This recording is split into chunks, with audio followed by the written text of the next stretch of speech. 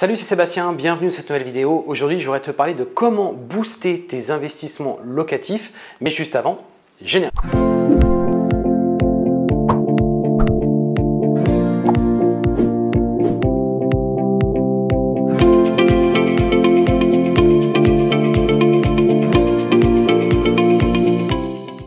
Alors avant de commencer cette vidéo, je t'invite à liker celle-ci, à laisser un gros pouce bleu sur cette vidéo. Ça a motivé à te livrer toujours et encore plus donc, de vidéos sur cette chaîne YouTube. Je vais t'inviter aussi, si tu ne l'as pas encore fait, à t'abonner. Tout simplement, tu vas découvrir tout en bas un bouton s'abonner, tu t'abonnes et ça permettra d'être notifié les prochaines fois que je vais te livrer des vidéos sur cette chaîne YouTube sur l'investissement locatif, la sous-location, la conciergerie, différents sujets et eh bien, sur lesquels tu vas pouvoir obtenir un maximum eh bien, de valeur, un maximum de vidéos pour que toi aussi tu puisses te lancer. Avant de commencer cette vidéo, je vais t'offrir trois formations totalement gratuites. La première, c'est sur l'investissement locatif. Si tu veux te lancer dans l'investissement locatif avec une destination en courte durée. Je t'ai préparé une première formation. La seconde, c'est si toi tu veux te lancer dans la sous-location professionnelle immobilière, c'est pareil, je t'ai préparé une formation. Et la troisième formation gratuite, eh bien, c'est sur la conciergerie Airbnb. Si tu veux te lancer et lancer un business dans la conciergerie Airbnb, ces trois formations sont disponibles tout en bas. Tu verras dans la partie description. Tu cliques, tu récupères tes formations et ça, te ça va te permettre toi aussi de te former et de passer à l'action. Voilà. Donc aujourd'hui, j'aurais vraiment de parler de le booster, ce qui va vraiment te permettre d'aller beaucoup plus vite. Donc il y a plusieurs manières de faire. Hein. On va, on va vraiment parler de trois. Il y a vraiment c'est les trois manières, les trois boosters qui vont te permettre à toi aussi d'aller beaucoup plus vite dans l'immobilier et vraiment d'avoir une croissance assez rapide en quelques années. Donc la première qu'on va, va, que je vais vraiment te, bah, aborder avec toi, c'est le principe de la division. C'est-à-dire que quand tu achètes un appartement, eh bien, essaie de voir s'il n'y a pas des possibilités de diviser l'appartement. C'est-à-dire, est-ce qu'on ne peut pas, à partir de, la surface de départ, est-ce qu'il n'y a pas possibilité, depuis par exemple la porte d'entrée, faire une division, ce qu'on appelle non officielle hein? C'est-à-dire que euh, derrière, on ne va pas forcément créer un deuxième compteur, on ne va pas créer un deuxième compteur EDF, pas un deuxième compteur AO, etc. etc. C'est juste qu'on va diviser l'appartement et dans l'idée de se faire une exploitation, notamment en courte durée. Donc l'idée c'est vraiment ça, c'est que voilà, on rentre dans un espace, on a un petit sas et derrière on peut aller sur deux, euh, sur deux appartements totalement différents. Pourquoi faire ça? Tout simplement parce qu'on va doper la rentabilité. Hein, c'est-à-dire que plutôt que si l'appartement il faisait par exemple 80 mètres carrés, bah, c'est mieux d'en avoir deux de 40 mètres carrés ou peut-être s'il faisait 60 mètres carrés, comme là je suis en train de me projeter sur un, sur un projet qui fait 60 mètres carrés, eh bien est très facile d'en faire un qui va faire 25, 30 et puis l'autre qui va faire peut-être 30, 35 mètres carrés. Tu vois, c'est très facile. Et pourquoi je te dis ça? Parce que si tu loues un appartement qui fait 100 mètres carrés, peut-être que même en courte durée, hein, euh, ou même si tu fais de la location classique par exemple en, meublé, c'est un appartement qui peut être loué 700, 750 euros. ok? Eh bien, au contraire, si tu le loues euh, sur deux appartements, deux studios, c'est plutôt des appartements que tu vas louer aux alentours de 450 euros. Donc on voit que on va passer de 700, 750 à 900. Donc on voit qu'on va aller chercher 200 euros supplémentaires. Donc on voit bien qu'on a dopé eh mécaniquement tout simplement la rentabilité. Alors évidemment, ça va nécessiter un petit peu plus de travaux parce qu'il va falloir faire une séparation entre les deux, créer un petit sas, créer deux portes, bien entendu. Mais sur le long terme, tu verras que c'est quelque chose qui est très bénéfique et très profitable. Là, je l'ai fait sur un, premier, investissement, sur une première division que, bah, que j'ai faite.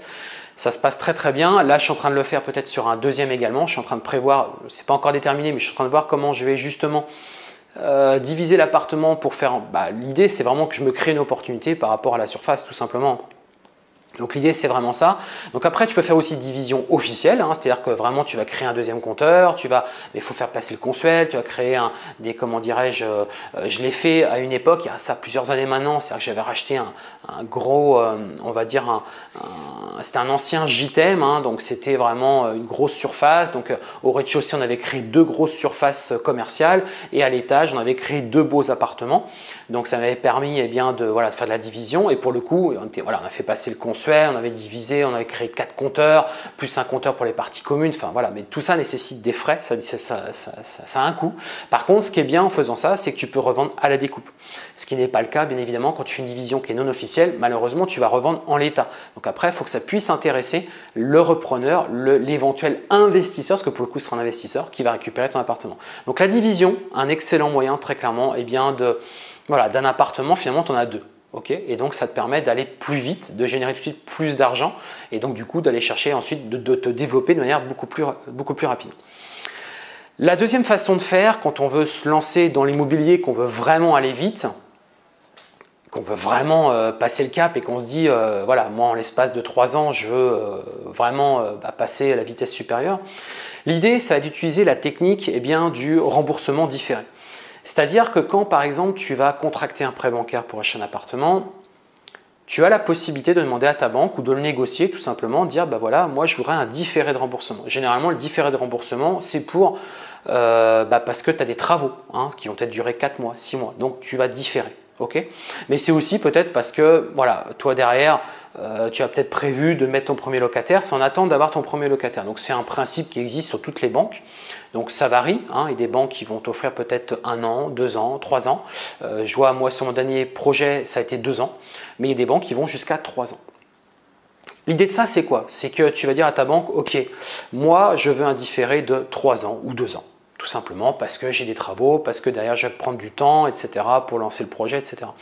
Mais l'idée c'est quoi? C'est au contraire, c'est que tu prennes pas ton temps du tout, c'est qu'au contraire tu ailles très vite, ok? Tu ailles vraiment très très vite, que tu termines tes travaux le plus vite possible et que tu mettes tout de suite ton premier locataire. Et ce qui va se passer, c'est que tu vas commencer, tu vas commencer à encaisser tes premiers loyers, tu vas commencer à récupérer donc bah, tous tes loyers. Hein. donc si tu es en bah, le loyer donc euh, loyer de ton locataire, en meublé pareil, si tu es en courte durée, bah, c'est pareil, tu vas commencer à rentrer ton chiffre d'affaires, en colocation c'est pareil, mais ton prêt n'aura toujours pas démarré. Ce, que la banque va démarrer, ça va être finalement les intérêts, donc euh, les intérêts du différé, les intérêts d'emprunt, pardon, et les assurances liées à ça. Plus après, bien entendu, toutes les charges de copro, euh, toutes les différentes choses, euh, toutes les différentes taxes qu'on a à payer, euh, taxes foncières, etc. Bien évidemment. Mais ce que je veux dire, c'est que la principale charge dans un investissement locatif, c'est bien le remboursement du crédit. Et eh bien là, tu ne vas pas le rembourser intégralement. Si par exemple tu avais un crédit de 400, 500 euros, bah, peut-être que tu vas rembourser qu'une centaine d'euros. Contrairement à, normalement, si tu avais vraiment lancé ton projet, tu devrais rembourser tes 500 euros. Donc tu vois bien que cet argent-là, c'est de l'argent que tu n'as pas à rembourser et donc qui va venir augmenter fortement ton cash flow, donc ta trésorerie. et on voit bien qu'à l'issue de 1 an, 2 ans, 3 ans, eh bien, on commence à avoir une trésorerie relativement importante. Je te prends un exemple sur un de mes investissements, je le fais ces deux appartements que je te disais, bah, les deux en question, donc cette division, eh bien, c'est des appartements qui me rapportent à peu près en moyenne chacun 1000 euros. ok? Donc on est sur à peu près, allez, on va dire, même pour chaque plutôt basse, 1800 euros. Eh bien, c'est 1800 euros qui sont multipliés par 12, multipliés par deux années. On voit tout de suite que, eh bien, on a euh, une possibilité assez importante derrière de récupérer un capital, un capital d'argent. Et qu'est-ce qu'on va faire avec ce capital? Eh bien, on peut l'utiliser justement comme un, effet de levier quand on va retourner, voir une banque, pas forcément celle que tu as vue initialement parce qu'elle va dire tu n'as pas commencé à rembourser réellement ton crédit. Donc ça t'empêche pas d'aller voir une autre banque, dire voilà, j'ai déjà des appartements, j'ai déjà un appartement, des appartements, et par contre, moi, j'amène une somme d'argent. C'est-à-dire que j'ai peut-être 20 000, 30 000 euros de disponibles. Et derrière, je l'apporte pour aller chercher peut-être un appartement à 100 000. Et tu vois bien que derrière, cette technique-là va te permettre, d'à partir d'un premier investissement locatif, et eh bien d'aller tout de suite sur un, autre investissement locatif de manière assez facile. Très facile même. Hein, on peut même limite imaginer, imaginer même que euh, sur, des petites, euh, sur des petites communes, tu puisses récupérer des petits studios j'ai envie de te dire, payer en cash. C'est-à-dire que ce que tu as pu générer avec tes premiers appartements, bah, cet argent-là, en l'espace de 2-3 ans, tu peux tout de suite aller vite racheter un autre studio, limite cash, euh, et du coup, tu as un autre appartement, tu vois, qui, arrive à toi, euh, finalement, qui, qui s'est rendu possible grâce au fait que tu as différé le remboursement. Donc, réfléchis bien à ça repose bien les choses, pose les chiffres et tu verras que c'est possible et c'est quelque chose qui va te permettre d'aller beaucoup plus vite. ok? C'est-à-dire qu'à partir d'un investissement, finalement, c'est pas un, c'est deux investissements que tu as réussi à faire finalement en une fois. D'accord? Et rien ne t'empêche, bien entendu, après d'aller sur d'autres projets, bien évidemment. Enfin, la troisième euh, manière de faire, c'est bah, celle que je parle énormément sur cette chaîne YouTube, c'est la sous-location. C'est-à-dire que si toi, par exemple, tu fais de l'investissement locatif, mais ça prend peut-être un peu plus de temps parce qu'il faut trouver des biens, il faut faire les crédits, il faut demander des crédits aux banques, il faut faire des travaux il faut signer chez le notaire, tout ça prend du temps. Eh bien, tu as les moyens très rapides de faire, donc de continuer tes investissements locatifs, mais en même temps de lancer ta boîte, ta société de sous-location. C'est vraiment pas un problème. C'est-à-dire que tu vas récupérer des appartements de propriétaires que tu vas exploiter en courte durée, en colocation. Et derrière, ça va te permettre de générer du cash flow tout de suite, immédiatement, hein, très rapidement. Et du coup, cet argent-là, tu laisses se développer, ok Tu laisses se développer un an, deux ans, comme la même technique que je disais juste avant, un an, deux ans, trois ans. Et là, tu vas récupérer une enveloppe. Et cette enveloppe va te permettre eh d'aller chercher un autre appartement. Et c'est comme ça que tu vas pouvoir très rapidement, grâce à ces effets-là, eh bien, de booster clairement, la, euh, si tu veux, ton, ton, ton projet locatif, tes projets locatifs, tes projets d'investissement locatif, tu vas clairement booster. Tu vas aller beaucoup plus vite que quelqu'un de lambda qui va lancer un projet et puis qui va attendre le deuxième, etc., etc. Toi, tu vas aller beaucoup plus vite parce que tu vas utiliser des techniques qui vont bah, clairement booster euh, ton entrée dans le monde de l'immobilier et donc de démultiplier tes investissements locatifs. J'espère que cette vidéo a pu t'inspirer, qu'elle a pu t'amener justement à réfléchir à ce que toi tu pourrais faire également. N'hésite pas bien entendu à la commenter, n'hésite pas à la partager à des amis sur qui ça pourrait, ça pourrait aider. Euh, n'hésite pas à poser tes questions, si tu as d'autres questions, peut-être d'autres techniques que moi je ne connais pas, mais ces techniques-là, euh, pour moi, sont vraiment des techniques que j'utilise au quotidien, que je maîtrise plutôt bien et qui fonctionnent.